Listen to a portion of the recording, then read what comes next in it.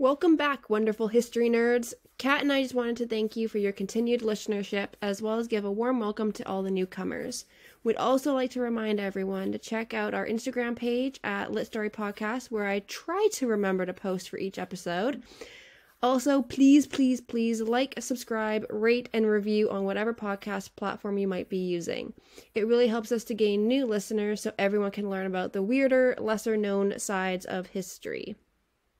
On that note, Kat, would you like to make an announcement about our new side podcast that you're going to be running? Yeah, so Ashley and I decided to do something a little bit crazy and add another podcast onto our plates.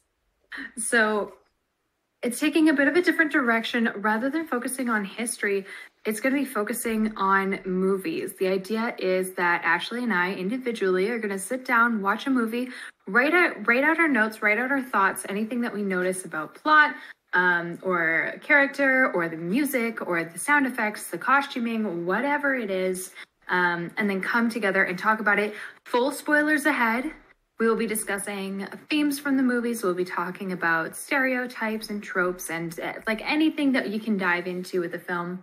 Um, and we will be going into what happens at the end and how does it all wrap up and why. So, if you're interested in uh, hearing someone else talk about your favorite movie, um, pop over there and definitely send us requests on our Instagram through the DMs there. I think it would be great if we had some uh, ideas from the audience as well so that we know what you guys are interested in um, so we can watch those as well as you know movies that we're already interested in yeah, and there will be some history points because, like, with our first episode, I do have some of like the history behind the movies as well. Mm-hmm. Yeah, and especially anything that ties into historical context. Obviously, we're going to be talking about that. oh yeah, but don't worry. What do you know about isn't going anywhere. I will be continuing to bring you all more stories from history as I have like thirty episodes in the work in the works between researching and writing about these fascinating events and people. You'll still find a history fix on Mondays to go along with your new Friday film chats. So cozy up, grab a bucket of popcorn, and come hang out with us. Exactly. Um, so yeah, let's get on with the history though, shall we? There is poetry, love, scandal, and perhaps some death to uncover today. Ooh, sounds dramatic. I will be giving I will give the blanket warning that this episode does include some discussion uh, surrounding abortion and suicide. I don't go into too much detail, but that there is a lot of that kind of at the beginning and at the end of this. Gotcha. So, Kat. Yes. What do you know about Nora May French? Literally nothing. I don't think I've ever heard the name before. So then I'm gonna guess you also have not heard about Carrie Sterling. That one sounds vaguely familiar, but I couldn't tell you where or why. Interesting. Okay, so our story takes place in the Gilded Age of the early 1900s. Mm. Nora May French, though, was born in 1881 to Edward French, a professor, and Mary Wells French.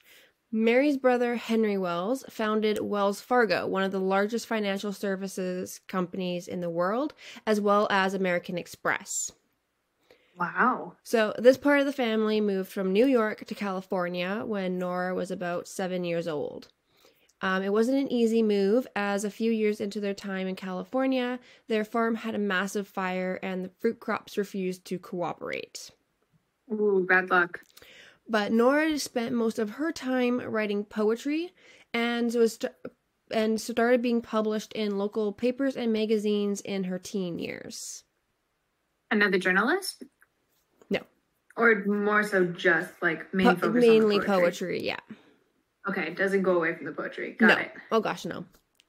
Um so as Nora grew up, she had a few affairs with various men. But the main one that really kind of kickstarts like the events that I'm going to be talking about um, is a man named Harry who convinced her to move to San Francisco just after the 1906 earthquake. Ooh. He was the man who could possibly help her gain more financial security from her poetry, as he was the assistant editor of The Argonaut. This was a Okay. paper that became extremely influential due to its strong political Americanism alongside highly regarded art and literature pieces. Many influential writers of the time had their work published in this Hmm. paper. So, editor of a big fancy magazine, and we got this girl who's trying to become a poet. So already there's like, a, so did her parents approve of this move to like this? It, like you know, San Francisco right after an earthquake, it would feel like it's kind of risky. Like, was her family like okay with this? I think so. Her sister at first wasn't okay with it, but then Nora ended up convincing her sister to move in with like to move with her. Um her parents were especially her father was very adamant about her doing well with poetry. Okay, so her father was pushing her towards it. Yeah. The like poetry specifically, not Correct. necessarily the guy. Yes, Okay. considering that this was a married man. Gotcha. Um, so he wasn't really kind to Nora, as he often apparently used harsh words with her. But his letters were always sweet and full of promises that he couldn't keep due to his marriage. Hold up. He's married Yes, and not to her, but he's trying to fly her out to San Francisco? correct. And he actually built her a house No. for her to live in. That's next level. Like ch- like cheating bad enough, but like building a house for your mistress? Why? Yeah. Oh my gosh, that's awful. It gets even crazier later on in the story with a few of how of like how these people interact with each other. Oh, okay. This guy's already in my bad books. I don't like him. Yeah, but as I just like as I just said, um, Nora stayed in San Francisco even though she couldn't actually marry him, and convinced her sister to move in with her. Okay. Then one Sure. day, Nora found herself two weeks late, Oh no. and her cycles were never na- late, so she knew that there was a baby coming. and it's and she's the mistress. Oh, that's bad. Immediately, she went to the pharmacy and purchased a box of pills that promised to bring on quote unquote suppressed menstruation and be a quote unquote female cure. So plan like a like oh boy. I was going to say like a plan B, but if she's already pregnant then plan B is too late. Yeah, so basically, So- you would. So these pills were advertised as uh, being always reliable and never dangerous, but they were literal abortion pills that were sold because doing abortions was illegal at this point. So they were sold Yeah. as a way of basically saying like, "Oh, it'll help you with your suppressed menstruation and be a female cure," even though everybody Oh. who was going to be using it knew what that code meant Oh, that's sneaky.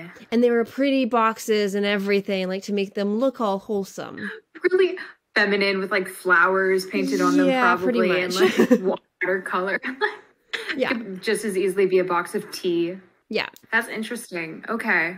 But okay, so I know not enough about like this subject from like the early 1900s, but wasn't it a thing that like abortions were like really dangerous at that point because no one really knew how to do it safely unless they're doing it with like herbs?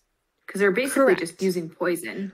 correct and even with these herbs because as a race like all women who took these Like pills they stuff. knew that it was a major risk as two of the common ingredients were notoriously deadly deadly so those who took them would usually either get the result that they wanted or a result that they dreaded mm. So literally every time you took it, it was a risk that your body may decide, oh, I'm going to allow this poison to kill me rather than just kill the fetus and remove and like Oh. cause a miscarriage, basically.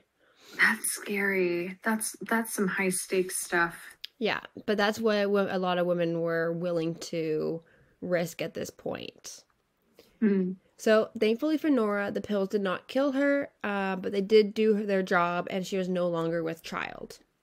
She knew that if she had carried this baby to term, she would lose her sister, who hated Harry, and lose her lover, who was keeping her in comfortable living situations.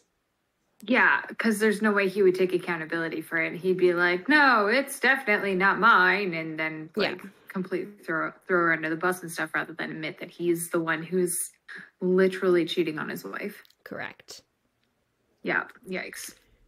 Uh, so while dealing with the pains of contractions during the abortion, Sarah actually wrote to Harry detailing the trauma that she was enduring. So real time, she was writing of her was happening. feelings while it, she was having these contractions and the pain and everything.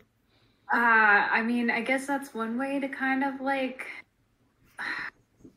Yikes. So like that's. this is a quote from that letter. hmm Very dear, I have been through deep waters and proved myself cowardly after all. I have gone through every shade of emotion. It was as if we were walking together and my feet were struggling with some pulling quicksand under the grass. I would come near screaming very often.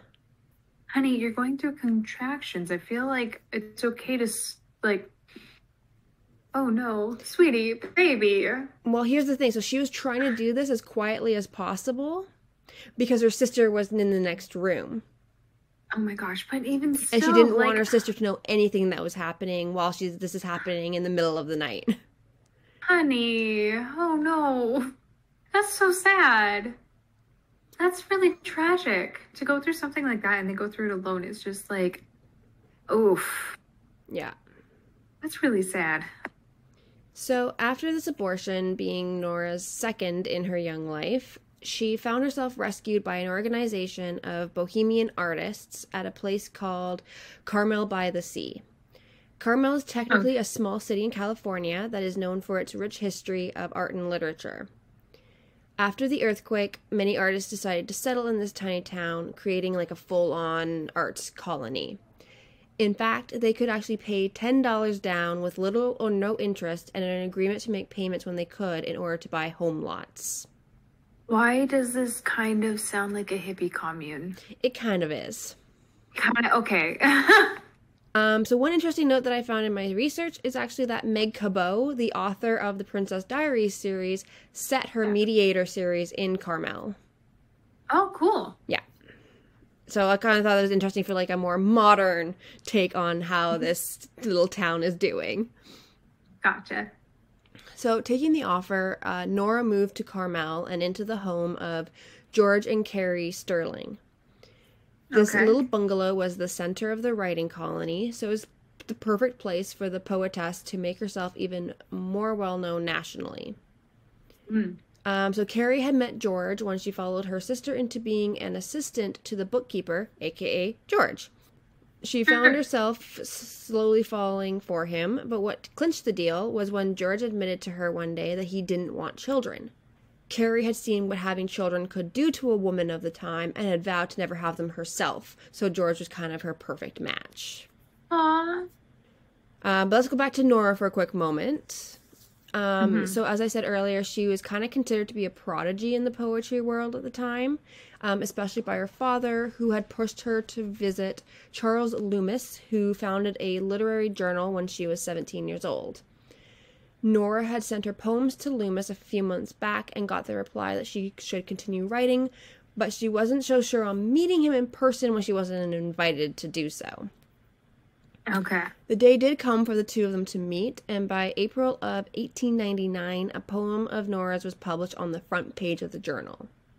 Oh, nice. She never looked at the published piece, however, as Nora rarely read anything she wrote once it was finished.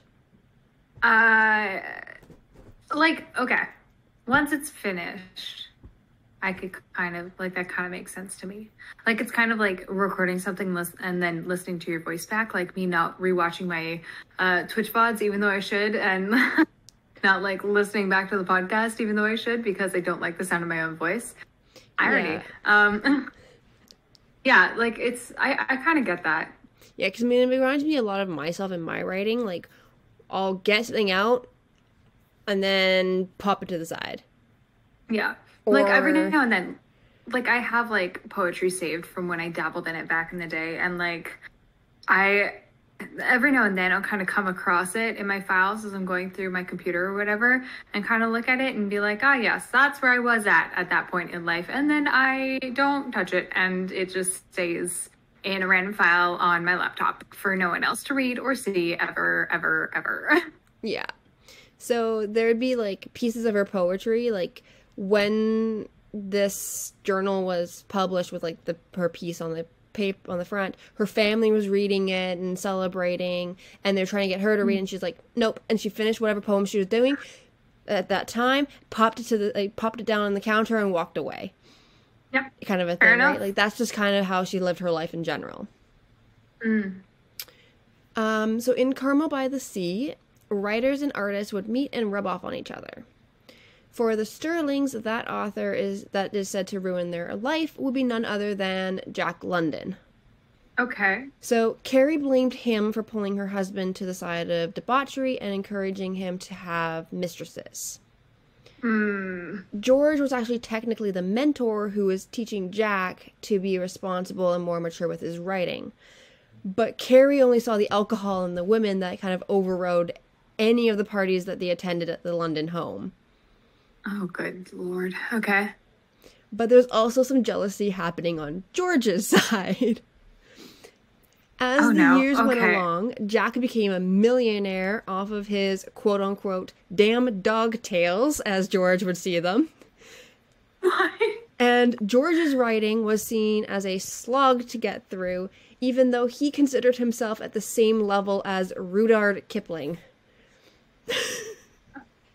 Okay, so so he thinks he's this great, amazing writer, and everyone else is just like, your writing is so dry and boring. Yeah. Or like at least this other, this one other person in particular. That's Well, like, in general, dynamic. like people are like, like he, like, like George never fully did well with his writing. Like he couldn't really live off of it. He still had to have another job. But he's watching So- as like Jack London is writing about dogs, and he's going and getting and making millions. hmm So, I mean, that's kind of how it is. Like, that's kind of how it is when you try to get published. Like, you never know what's gonna hit and what's not. yeah. Yikes! Yeah, that's a dynamic and a half. Yeah. So his wife through saw through it all, and though she might have considered divorce, it wasn't really an option at the time. So she just kind of went along with her husband's flow. Right. Okay. Now, Nora had met Carrie and George when she was with Harry, the man who got her pregnant earlier in this story. Harry was known for bringing a new girl basically every week, but Carrie seemed to especially dislike this one. Okay, so hold up. So not only is Nora his mistress, but she's also not his only is he but is he is he building houses for all the rest of them as well? Like what the hell is happening? Who knows? Like, it didn't go into what he did with all these other mistresses. Uh okay. So when Nora is. entered um, the Sterling house, she entered the room all bubbly, introduced herself, and took a seat like she'd been there many times before, which didn't go well f- um, on Carrie's side, who was like, "Ye- "We don't know you, like you're just one of his other floozies."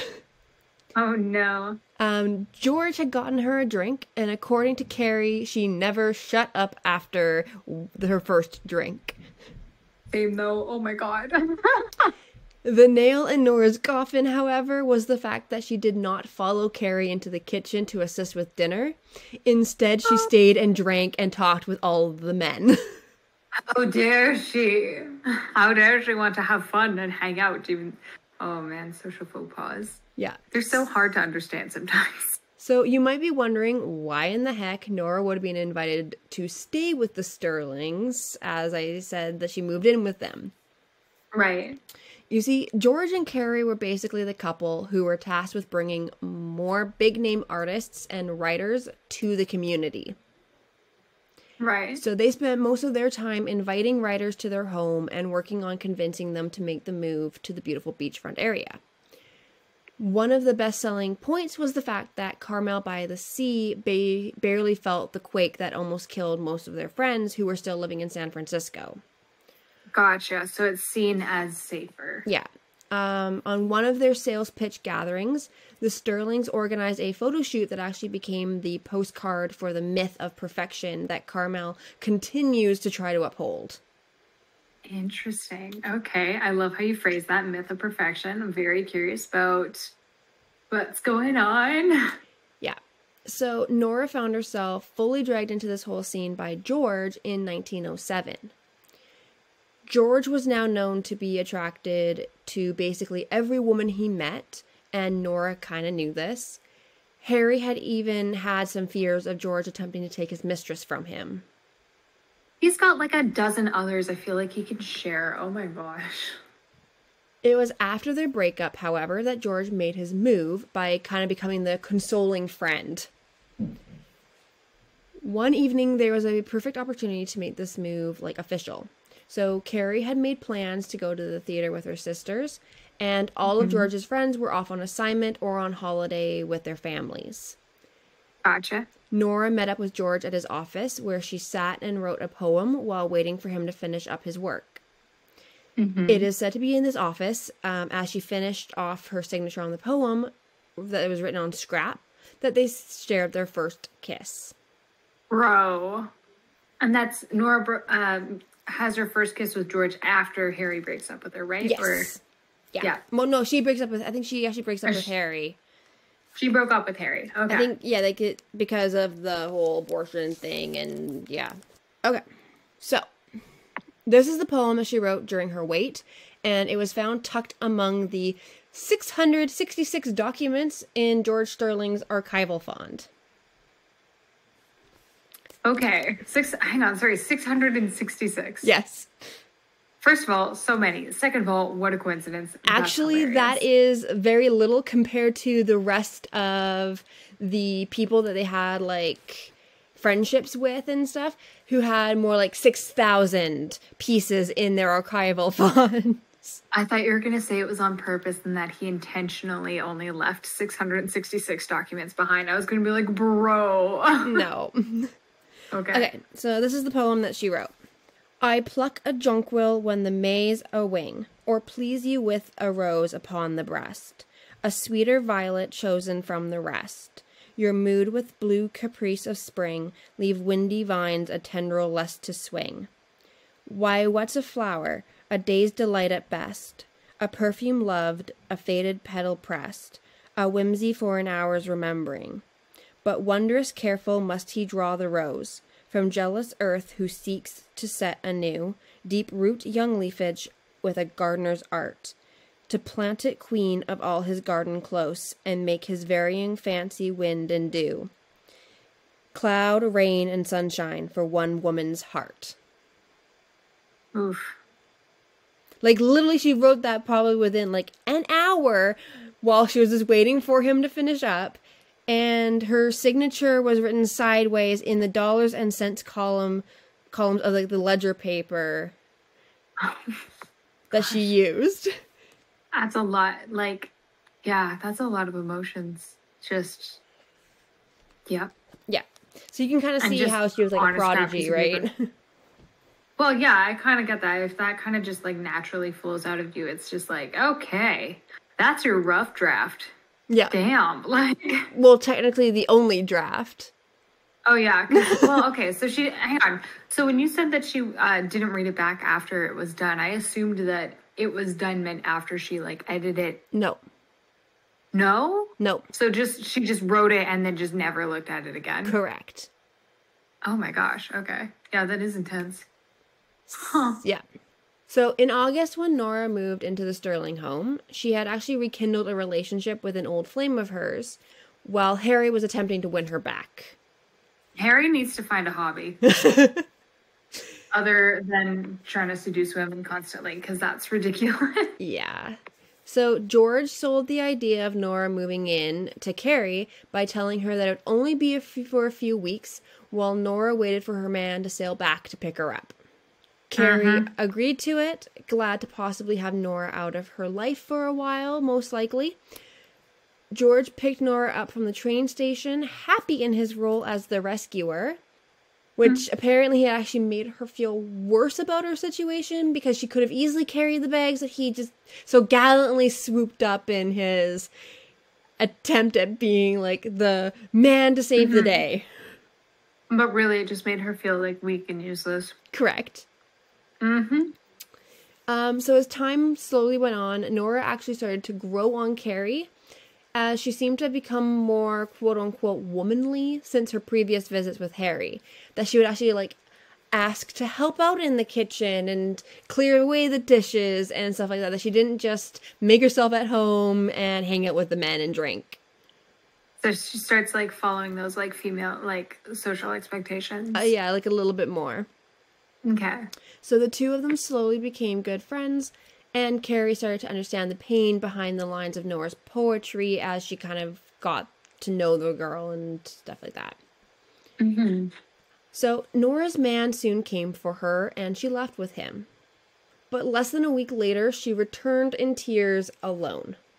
Ooh. Nora was 26 years old, and there's no record of what happened during this time frame.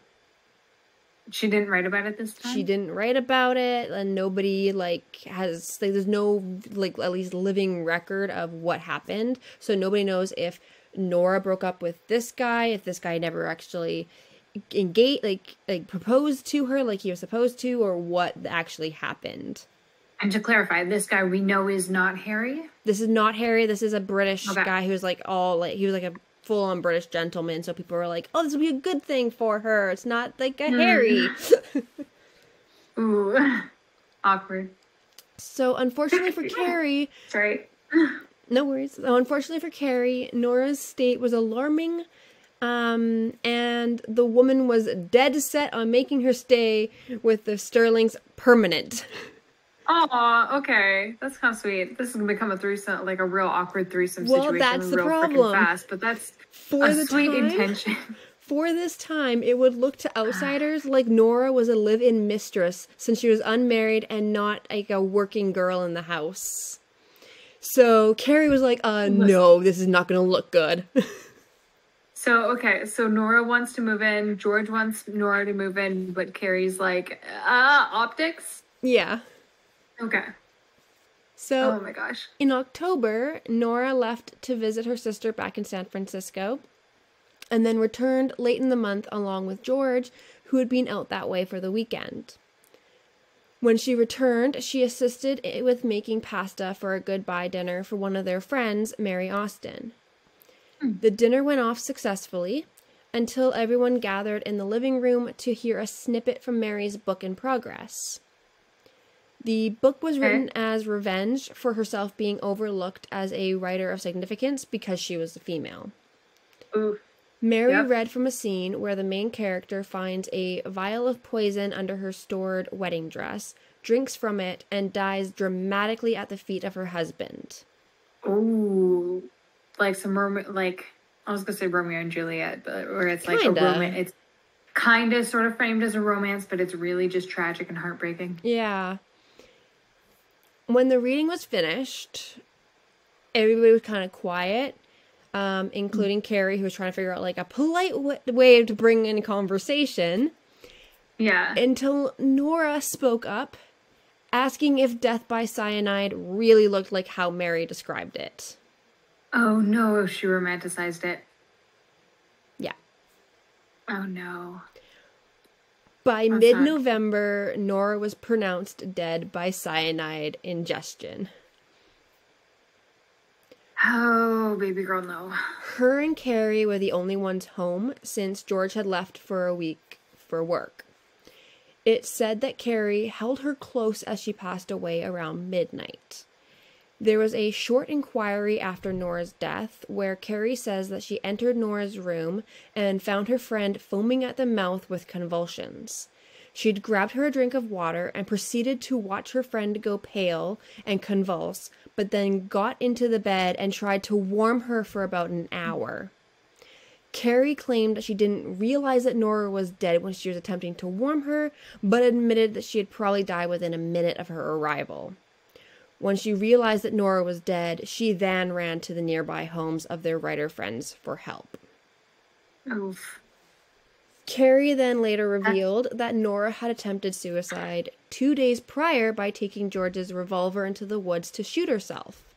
Somehow she had only managed to shoot off one golden curl of her hair only. Must have pulled away at the last second. Well, so no one's really sure about how like the how this story of like about this story in general, as a gunshot Right. that close to her head would have caused a lot more evidence than just one curl being removed. Well, okay, that's fair. So there would have been gunpowder residue and uh, most likely some noticeable hearing loss in that ear. Yeah, totally. And you said it was a revolver, not a shotgun, right? A revolver, yeah. Revolver. Okay, so a pistol, handheld, totally could be used on yourself, but like, yeah, still, still does significant damage even if you miss. Yeah. So there was also no correspondence or journal entries that talked about the attempted suicide. The only mm. evidence for the incident is the one statement made by Carrie. No notes were left for either suicide attempt. Are we suspecting Carrie poisoned her with the cyanide and that it wasn't? And she's trying to frame it as a suicide by like making up this other story about There's it. Like kind of like a con- like a whole conspiracy about it, kind of with like Oh, a whole no. Mm-hmm. society. Um, that I'm kind of going to kind of go into here. Gotcha. Um, So. Nora wasn't actually the only higher profile suicide happening at this time. Um, the same week also saw a prominent banker commit suicide while his wife entertained a guest just downstairs. Bro, well, Um, she's got company over. yeah. So Something about that just feels like even like I don't. Yeah, I don't know. Something about that feels even worse. yeah, I'm like, dude, like you could have waited. It's well, a little bit, yeah. Like not to be heartless, but like it does feel like a little bit like I don't know, just like like almost inconsiderate yeah. of like the people that you're leaving behind. I don't know. Um, so bankers at this time were kind of public enemy number one, um, due to a tanking economy. So his death kind of outshone Nora's in the papers, but that wasn't the end of it all.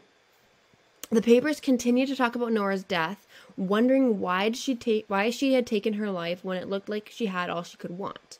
And various papers across the different states all had very different ideas about the reasoning behind her poisoning. And none of them had any kind of psychological basis. I'm gonna assume because this is the early early 1900s. So one paper, like I think it was Chicago, like people in mm-hmm. Chicago all believed that she was just done with life. uh huh. That's kind of their idea of like the psychological was just that well, the beauty of life has diminished had diminished for her and so she took her own life. Okay. So like she was depressed and Yes. and she actually had a history of depression in which one of her uncles kind of told her a bit about how to kill herself. bro, you can't be doing that. That's oh no. oh dear. So there is speculation about the nature of her death in general, as archival documents of George and Carrie's share a confusing narrative. Okay. So the husband and wife made very similar statements about Nora's death and seemed to have been writing in the same journal where Carrie would take over talking about the events that happened around the house when George was out of town. Okay. One interesting note is that in George's entries, he would put Nora's name all in capitals. Something he only did for things he truly loved, including his own name. Wait, okay, wait. So he has this intentional, theoretically, writing thing where he just, if he likes it, he just writes it in all capitals. Yes, so like he's done this with, so he'll do this with like he had done this with some of his other mistresses' names. Bro. He does it with his own name. Um, for some reason, Carrie would call him father, and then he would go into the journal and scratch it out and put his own name in all capitals. My dude, that's the the lack of subtlety, like just the sheer audacity of like naming your mistresses and essentially highlighting them. Yeah, When your wife writes in the same journal, yeah. I okay, cool. Um, so then there's also an interesting line from an intimate letter between Carrie and her friend Blanche on the night after Nora's death. It Okay. reads, She played the game. She died looking so beautiful. Uh, that's not good. That's not good. That's that's especially since she asked like if dying by cyanide is actually how her friend wrote it in the book, which I'm presuming was like in a romantic, tragic sort of way. Yeah. Like frothing at the mouth is not beautiful, so I can only imagine that that's a reference to her asking if like it really was as beautiful as it sounded. So apparently, whenever Carrie used the phrase "the game," she mm. always meant the game of doing what you could to advance in the world. Sure. The number one question is when did Carrie find out that Nora was pregnant and that her husband had poured the ashes of two people into the ocean during her funeral? She was pregnant with George's kid? Yes, apparently so. A girl never a girl never learns. I I mm, honey, you can't be doing that when you live in the house with his wife. You'd uh, think. Uh, it's literally it's giving Anne Boleyn, but like worse. Like, oh my gosh. So after Nora's death, there was a spike in suicides where no notes were left. And a poem of Nora's was seen to be the spark of this possible suicide pact that was sweeping across the country after being reprinted in various newspapers. So- and even like with one of these people who committed suicide, this poem mm-hmm. was found folded up in their pocket and they were in New York. No, so she had a okay, so so she had a poem and it's was it like okay, was was the poem intentionally written as like a suicide note or was it just kind of the last poem that she wrote? What I'll do is I'll read you part is I'll read you like this poem and then I'll give you a little bit more information. Okay. So this is how it was written in the papers. I tilt my hallowed life and look within. The wine it held has left a purple trace. Behold, a stain where happiness had been. If I could shatter down this empty vase, through what abyss would my soul be tossed to meet its judge in undiscovered lands? What sentence met me alone and lost, before him with the fragments in my hands. Better the patient earth that loves me still should drip her clearness on this purple stain. Better my life upheld to her should fill with limp dew and gra- and gradual gift of rain. And it was printed with the title Suicide. Oof.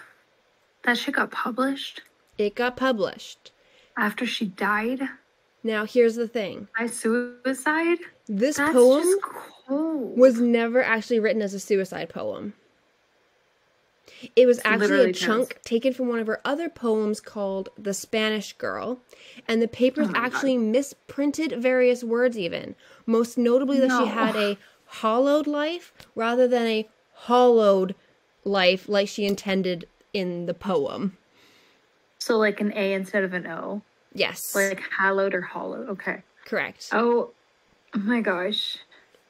Bro, I ah that's that's that's poor taste. Like that like I mm. Okay, so she didn't have a note.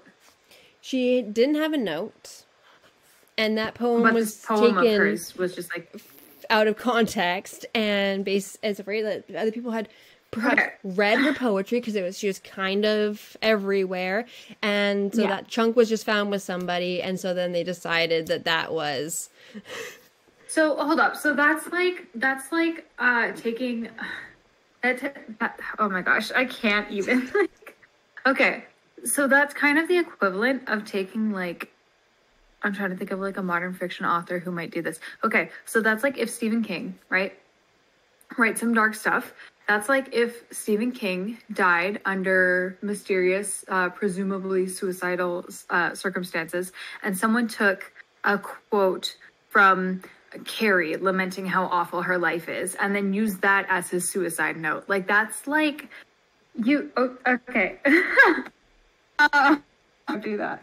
yeah Oh. Oh no. Oh, that makes you so uncomfortable. now other people were also dying in carmel by the sea Uh huh. um where there was some stuff where people were making it seem like it was because of Nora, like that Nora was the influence. So yeah, so like copycats. Correct. Oh come on. And this is like included like a school teacher and stuff. And when the author of like one of the books that I used was like doing her research, Mm.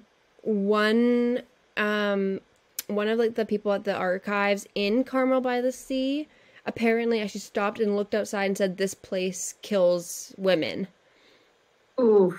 So there's a history of women in Carmel by the Sea kind of having bad lives and then being found dead either by suicide or mysterious like circumstances.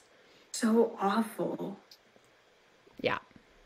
Like and especially since it's meant to be this like artistic haven where all these people can come together and like create like Beauty. yeah, And like, art. like beauty, Yeah. like works of art together. Like that's so sad.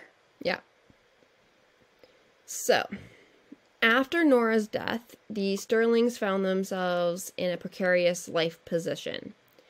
Hmm. They relied on the Carmel Development Company's good graces for various months when George wasn't getting paid at work, so they needed to continue bringing in famous residents.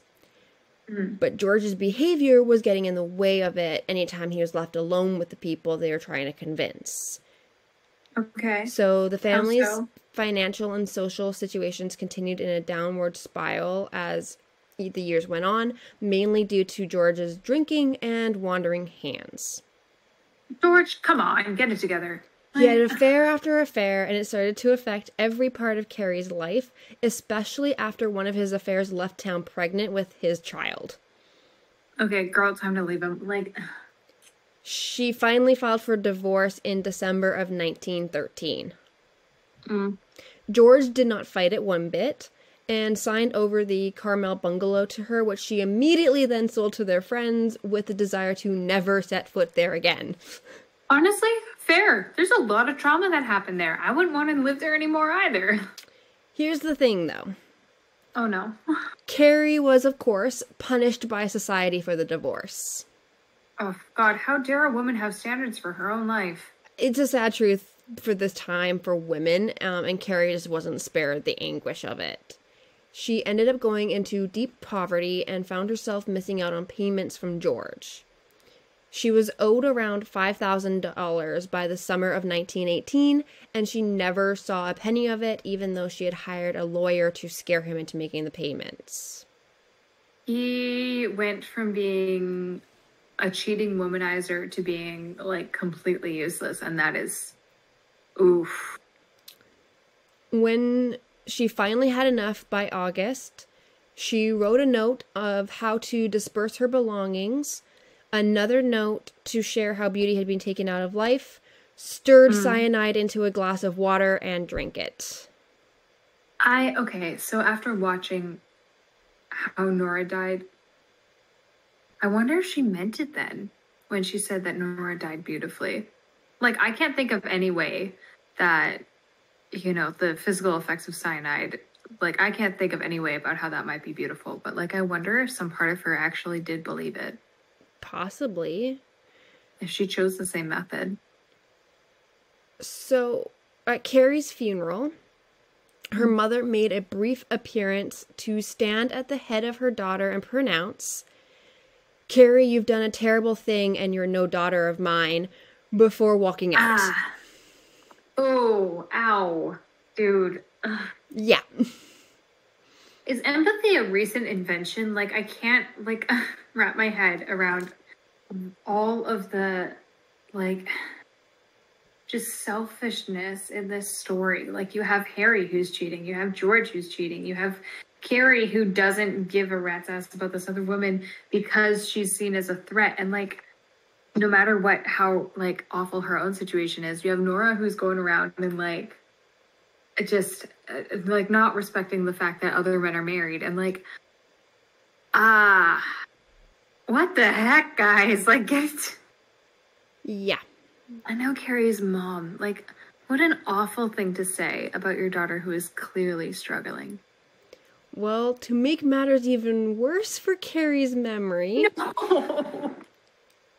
Uh-huh. papers printed previously written poems of George's, including one that was written for Nora May French, not his ex wife. Oh my gosh. That's just cold. Like, what the actual heck? Yeah. okay, Nora, you said Nora was a writer too, right? Or Yes. was Nora not? Nora Or, sorry, not the- Nora. I mean, um, Carrie. Carrie, no, she wasn't the writer. She just was part of that group because of her Gotcha. marriage. Okay, because Yeah. I was gonna say like they couldn't use anything of like Carrie's own work, like they had to use George's as well. But that well, and that's sense if she how Carrie was like famous enough to be put in the papers as well, right? Is that she was married to George and because of their connection with Nora, who died in their home basically. So okay, so that's like I'm trying to connect it back to like a modern pop couple again. so that's like okay, so who's who's married to the next? Okay, so Brad Pitt and Angelina Jolie, right? Okay, so that's like if Angelina Jolie died after they had like a divorce and like a messy divorce, and he was like uh, may or may not have been like with Jennifer Aniston or whatever, like while Angelina was still married to him. So that's like if Angelina Jolie died and then they printed about Brad Pitt in her obituary. Yeah. Ew. what? What? Yeah. Oh my gosh. So, those who were close with Carrie at the time of her death completely blamed Nora for how Carrie decided to kill herself, with one of these friends saying that the cyanide was the remainder of what Nora didn't take years prior. You cannot. Come on. Like it's like I'm sure that stuff has a shelf life. Like I like that seems far fetched. Like it's not like Nora, you know, hurt herself thinking like, oh, I hope other people copy me. Like no one who commits suicide is wanting other people to feel the same way as them. Like that's No. like come on. that's unfair. Okay. As oh Carrie Oh was gosh. struggling and committing suicide, George was back in New York trying to wrangle up the money that he owed his ex wife, completely thought you were afraid of say- being sued by her. I thought you're I thought you were gonna say he was trying to wrangle up more mistresses and I was like not even surprised. Oh, well, when Also news of her death reached him, it is said that he was absolutely destroyed. Yet he continued to write to his current lover and made the plans to return to San Francisco now that the threat of a lawsuit was relieved from over his head. What the act like dude Yeah. that's so tone deaf like i can't Like he's destroyed by the fact that his ex-wife killed herself, but he's like, "Oh, cool! Now I But can go back to San Francisco." for him and his personal matters i like my dude i i ah i give up man i give up By November of 1926, George had Mm-hmm. gone completely downhill. His drinking had reached an, ex- an extreme, and he felt had felt like he was a complete fool. He was supposed to have been the one to build Carmel, but he had really only brought one poet there, and he felt like it was him who had killed her. Oof. he's not like i mean she didn't leave a note so it's impossible to know Yeah. All the great But, American like, writers were now leaving? America and going abroad to find their inspiration. So, like F. Scott hmm. Fitzgerald, Hemingway, etc., leaving him Yeah. behind in the dust. oh no i see where this is going and that's just like okay On the back of a dinner menu on November 12th, George wrote a poem as a note to his friend. the back of a dinner menu Yes, like in a hotel. Like he was in the hotel, Ah. like, like the hotel restaurant, like downstairs. And yeah. yeah So it's called My Swan Song. no okay Has man the right to die and disappear when he has lost the fight? To sever without fear the irksome bonds of life when he is tired of strife? May he not seek, if it seems best, relief from grief? May he not rest from labor's vain, from hopeless task? I do not know, I merely ask. all of these people need like literally just need to go to therapy And I know that wasn't a thing back then, but like, oh my gosh, guys. Four to five days later, Uh-huh. George was found in his hotel room in an impossible position with the bed sheet stuffed in his mouth. There were burnt papers in a pile of ash next to neatly placed stacks of manuscripts and a small glass vial laid in the corner of the room. Oh, Not too far from the as well. pile of ashes was the poem that Nora wrote in George's office many years ago. George was dead from cyanide poisoning, passing away around the midnight the previous evening to his body being found. He had carried the bottle of cyanide with him for years, apparently. Okay, so that one confirmed is the same as Nora's. Oh my gosh. So that one confirmed is the same bottle as Nora's then. No, it's not No? confirmed to be the same bottle as Nora's. It's just that he had carried a bottle of cyanide with him for years. Oh, okay, not necessarily the same bottle. Got it. Okay. Yeah. Um, yeah, that is some like I hmm, that's some dark shit. So the stuff that he burned is that that's got to be like love letters to other mistresses or something incriminating or something. He apparently so that's why there's apparently there's only the 666 is 'Cause because the he had rest. burned a pile of stuff. Yeah, Um maybe unpublished stuff he wasn't proud of or something. I don't know. well and also there's they, they people consider that there's because there's some letters missing and things like that. yeah. Okay. So something incriminating probably. Most likely, yes. Or like, oof. That is that is some dark shit. Yeah. Yikes. Cyanide was way too easy for people to get their hands on Oh my god, yeah. back in the day. Like seriously, like it was you. It's like it was genuinely used in like a bunch of stuff, and it was like a uh, household like thing to have practically at that point. But like, oh my gosh, there should there absolutely should have been more regulations about around that already. Like it's literally Well- just poison. It was basically like the new arsenic. Well, yeah, but like, why was that available either? Like, people can't be trusted with this shit. Clearly, like, Yeah. uh, that is why they are now controlled substances. I'm pretty sure, Yeah. So depending on where you are. yeah, that's kind of the story of those three. Holy shit, dude. Um yeah, and like other people who were in like most of like their friends and stuff all had tragedy in their lives. Um even Harry I think it was one of his wives that went a little crazy and ended up shooting and killing a kid of theirs. Ooh. Um, and then he died where he stuck his head out the car window and was be and w- was beheaded basically by another car. dude, what? Did, like, on purpose, or, like, was that one just him? He was goofing off and then. Um, an accident. hang on. Because that is a messed up way to go.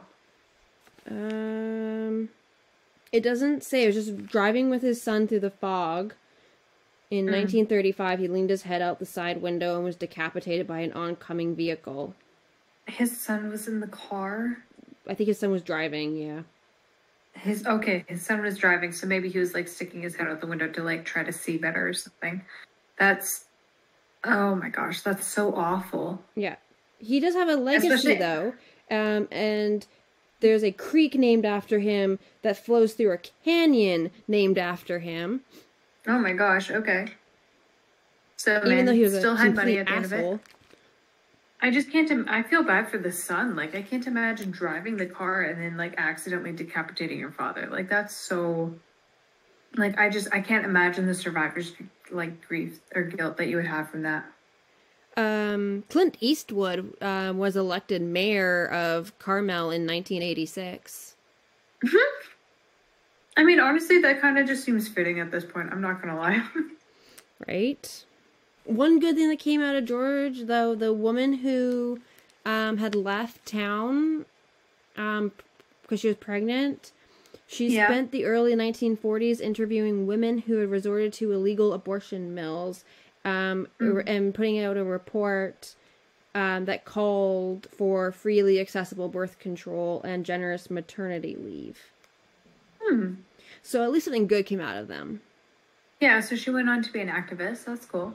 But there is a bench in San Francisco that it where the park around it has now been named George Sterling Park. Okay. So, okay. So Harry had things named after him, George had things named after him, Nora and Carrie did not get anything named after them. As far as we know, correct. Yeah, because like another guy that was friends with them um, in 1927 stabbed his private secretary and then and lover to death, and then ended his own life by throwing himself out the window. Bro, what the heck? Like, like, like nobody was safe around these people. was everyone just everyone was high all the time? Right? Like that's I guess so. that's the only like that's right like I can't like either that or there's like something in the air or something in the water or something. All of these people have like like I like I know about like the the um the suffering artist trope, but like holy shit, that's a little like too on the nose kind of, isn't it? Like oh man, like I feel like this entire story, I'm just like, come on, people, get your shit together, Yeah, you'd think. right? But yeah, that is the insanity apparently of the artist colony in Carmel by the Sea in the 19 in like the earlier 1900s. Like I had no idea where this was gonna go when you started the story. I did not expect it to go here. We've got like at least three suicides, probably, mostly confirmed. Yeah, We've that got- are considered to be suicides, but may or may not have been suicides. theories. Like it sounds this is such a dumb cheesy connection, but like it literally makes me think of like um this is so cheesy. This is such a dumb connection, but it makes me think of like in Supernatural where like Crowley would make no, I know, hang on, hear me out. Uh where like Crowley would make a deal with an artist and then like come and take their soul in some tragic way. It sounds like this is a group of friends that all made a deal with the devil and then like because none of them had a peaceful death all of them had like a horrific like violent death like it just it and like all of them are like these artsy like creative people like it just Yeah. it just it just it, it, it same vibes okay like just same vibes no, I agree. Like, i don't think that's anywhere near what actually happened. I think it's just a group of friends that all had mental health issues in a society that didn't know what was going on or how to address them and then all ended up dying tragically as a result. But also like yeah it's that's that's a lot. That's a lot for one group.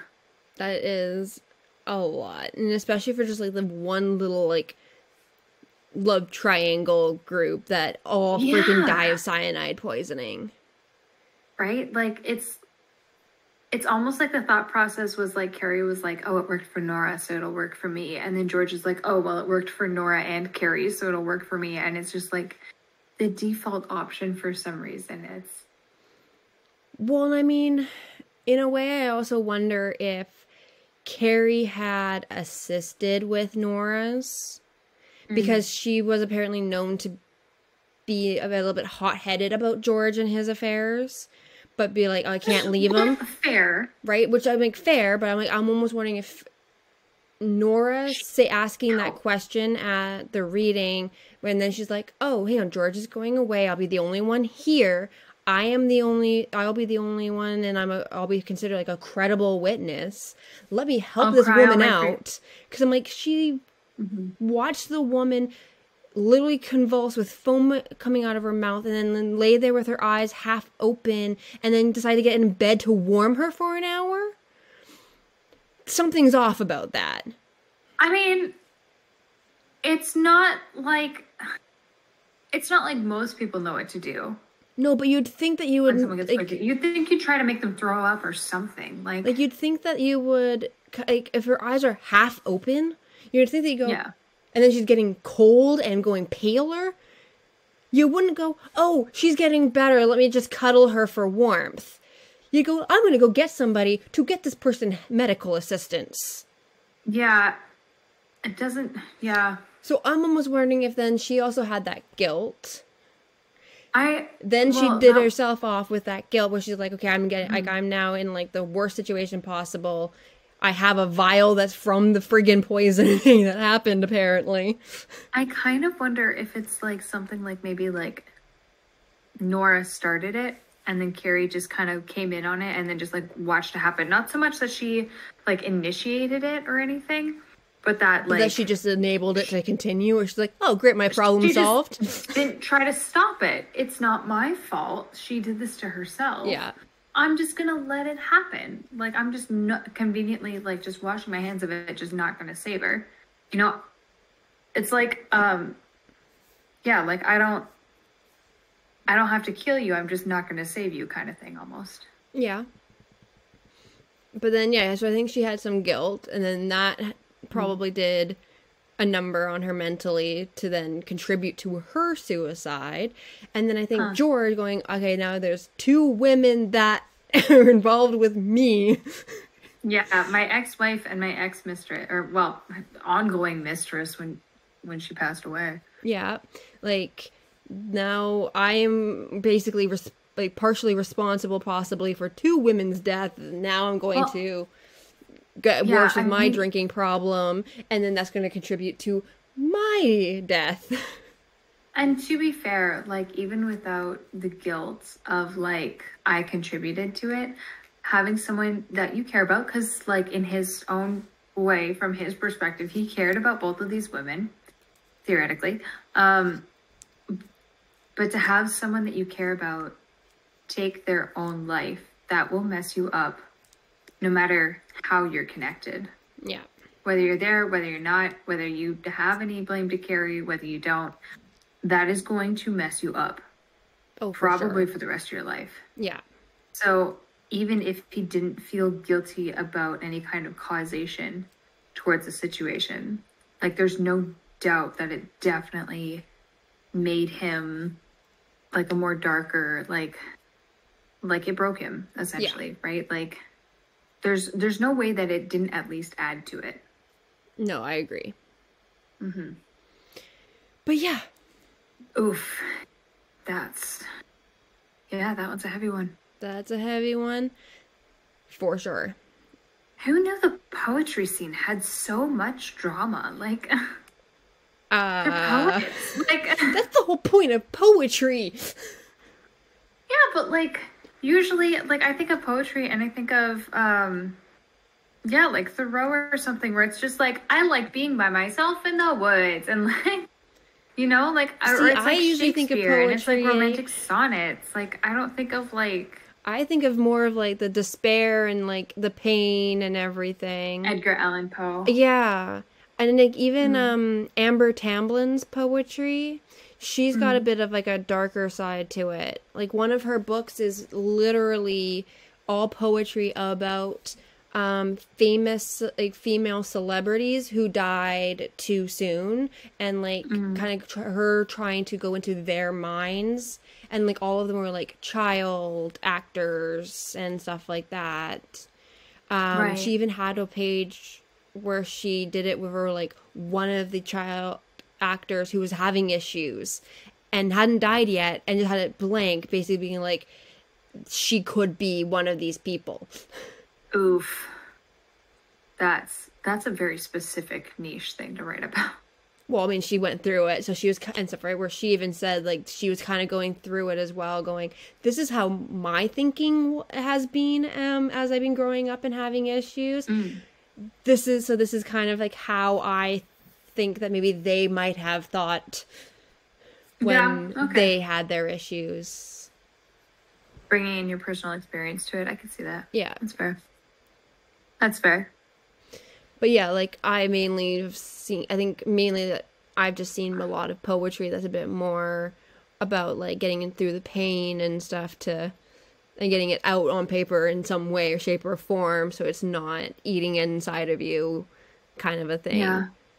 I mean, I remember in high school, uh, like reading poetry for class and stuff, and coming across uh, Maya Angelou, and like some of it was kind of about sort of the hurt and like the acknowledgement of like things not being good, but it was looking at it from almost like an optimistic light and talking about like the beauty of freedom even from the inside of the cage and like Yeah. um you know like I know why the caged bird sings yeah. and uh that poem really stuck with me for a long time just because it's like it talks about the dark and it talks about the grief and it talks about like knowing what you're missing out on but it talks about it from the sense of hope that like that thing you're not going to be locked away from it forever Yeah. um and that like that really stuck with me so i think that's kind of mostly what like sort of the tone that i think about when i think of poetry Yeah, no, see, I've just I've seen more of like the deep dark. Let me show you my pain. yeah like I've seen like some of like, the Maya Angelou and like some of like the newer stuff, um, like that one young lady from the inauguration, um, kind of a thing. Like I've seen some of those ones for sure, where I'm like, okay, yeah, like these are a bit more, but like the majority of the ones I've seen, especially from like this time frame, have definitely been more of that. Oh, woe is Kinda me. Woe is in the world. yeah and like i get that the world had just like it's like the world was going through some shit at the time like i, I get it but Yeah. yeah Yeah. Mm. But next week, I do promise that it's a little bit less. less dark yeah. I think so. Yeah, the topic for next week, uh, just kind of give you like a bit of a hint. Um, it's it's a, it is more like of like somebody who's going out to have adventures. It's not like, hey, we're going to get into this love triangle and I'll commit then all of us are suicide. Like, kind of a thing. It's more of like an adventure story. i like adventure stories let's talk about an adventure story Okay. I can do that. sounds good So yeah, yeah we'll see you guys all next the time then for an adventure rather than a tragedy. I hope. come back i promise i promise it'll be better I promise that at least in like in some of these 30 stories there's more of like fun things than just some of these 30 stories. I promise there's fun. Okay. we'll have fun. we will. Right. And if you need a break, pop over to our movie podcast. Yes, you can come meet us at the drive-in on Fridays and Did you just say Fridays or Saturdays? You said Fridays, right? Fridays. I figured Fridays because that's kind of like your usual movie night, right? Love that. Love that. I just, for a split second, I thought, like, because it came through, like, because of the way it came through, it sounded like you said Saturdays for a second. I was like, you said Fridays before. Wait. No, on Fridays. no, Friday evening makes sense. Because then it's like your Friday morning as you're driving into work. You can get some ideas on what to watch that night. Getting ready for the weekend. Exactly. And we are going to have some family friendly movies, at least. Some. Some. Yeah, some of them some of them will be family friendly. Some of them will be um interesting. Rewatching Grease really made like opened my eyes to a lot of the stuff that I let slide when I was younger. Well, yeah. I know. Yeah. But yeah, we'll talk about that on that podcast. Yeah, that's a later thing. That's a later that's a later episode. So yeah, until then.